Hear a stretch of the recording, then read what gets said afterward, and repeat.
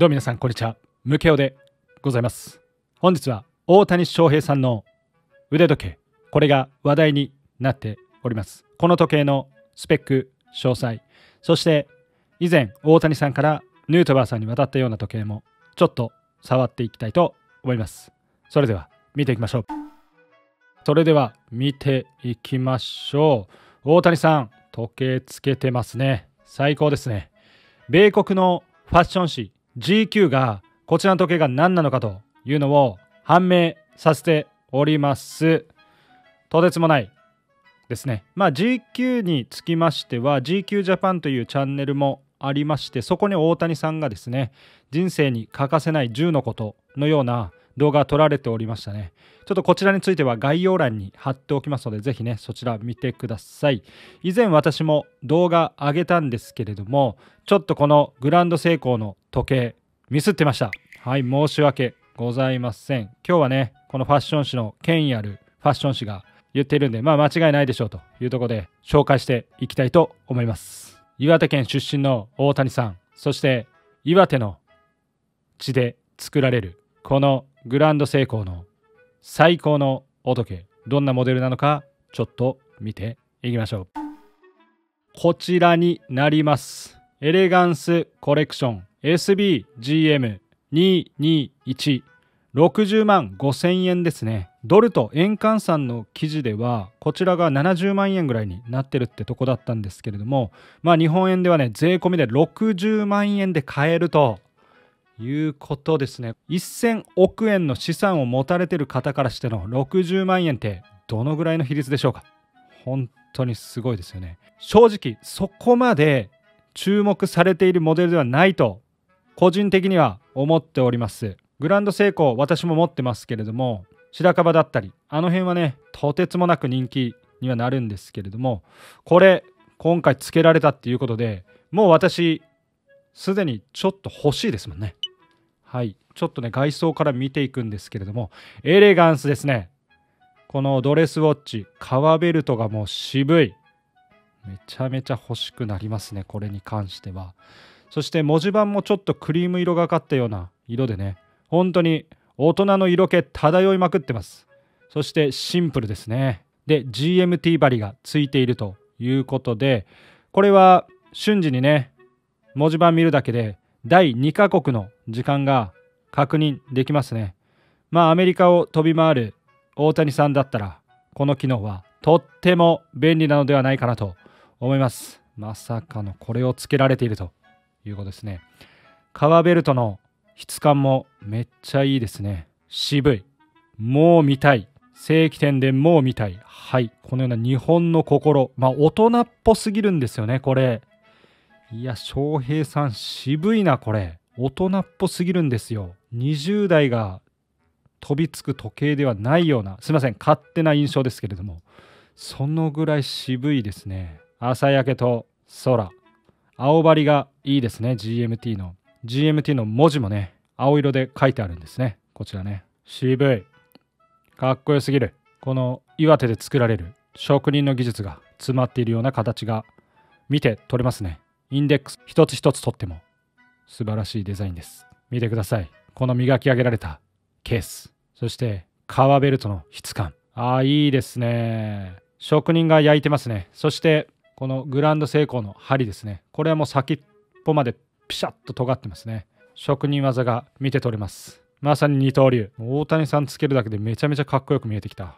そんな感じがありますね。ちょっとドーム型みたいになってるんですね。文字盤のケースが。ちょっと見てわかる通りこれ私のグランドセイコー白樺もそうなんですけれどもちょっと針の先端が曲がってますね。すごいですよね。これで視認性が上がっております。これは長針も曲がってますね。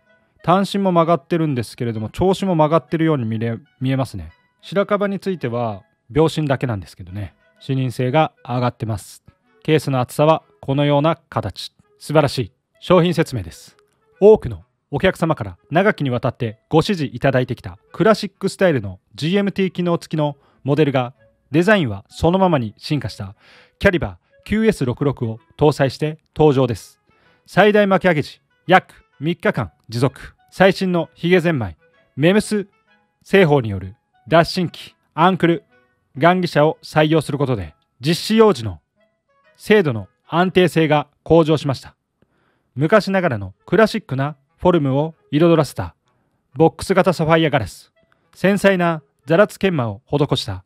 緩やかに流れる。缶足部。焦げ茶色のレザーストラップ。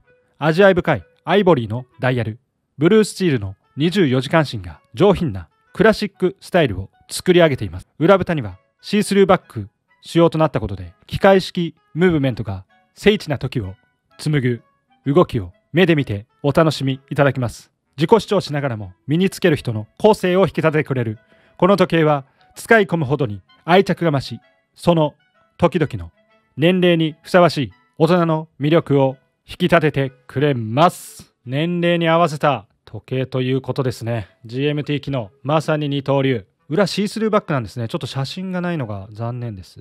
はいスペック見ていきましょう。外装ステンレススチール。裏蓋ステンレスとサファイアガラスでございますね。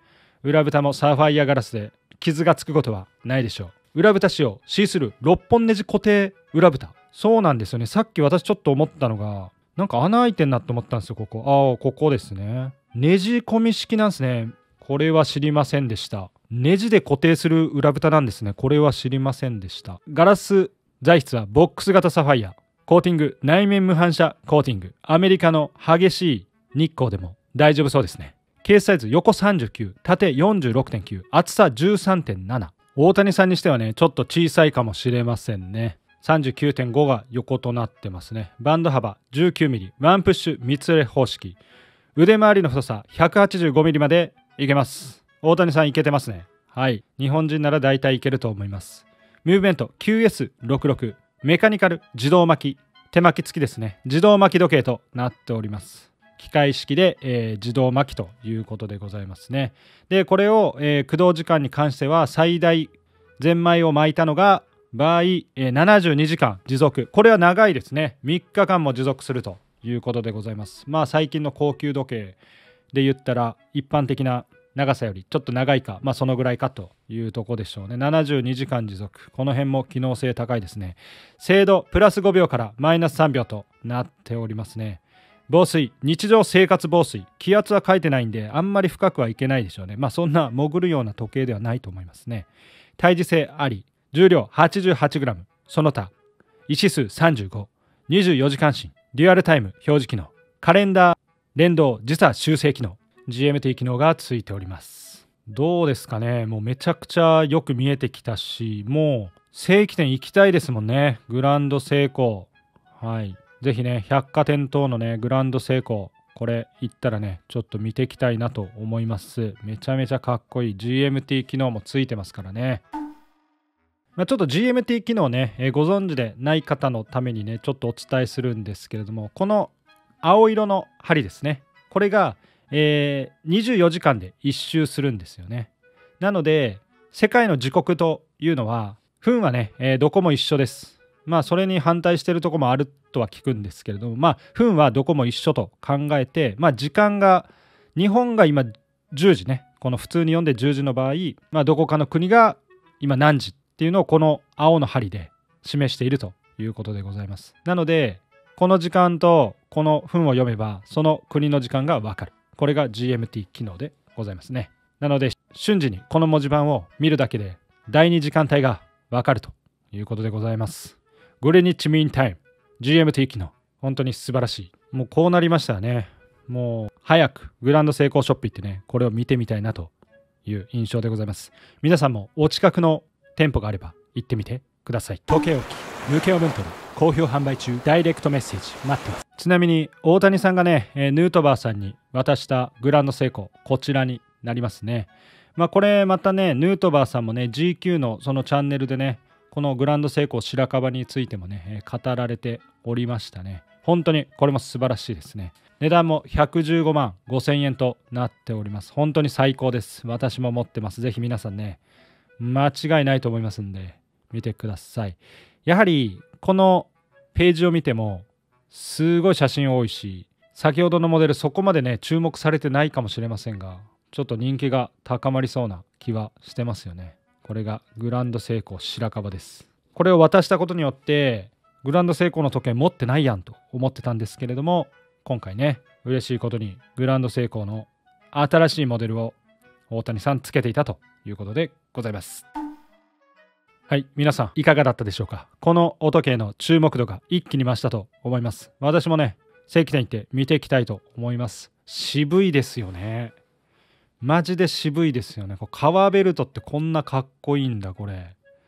すごいですね。多分ドレスウォッチとかその辺のスーツに合わせたりする時計をね選ばれてる方大人っぽい時計を選ばれてる方これね結構熱いと思いますよ。是非皆さんも注目してみてはいかがでしょうか。はい本日は大谷さんの会見でつけてた腕時計こちらを紹介してみました。是非皆さんもチェックしてみてください。本日以上になりますこのチャンネルではロレックスがどうやったら買えるかそしてグランド成功、その他、他の腕時計の情報もどんどんシェアしていきたいと思います。皆さん、もしよければチャンネル登録、いいね、よろしくお願いします。本日以上になります。ムキムキ OK。ではまた。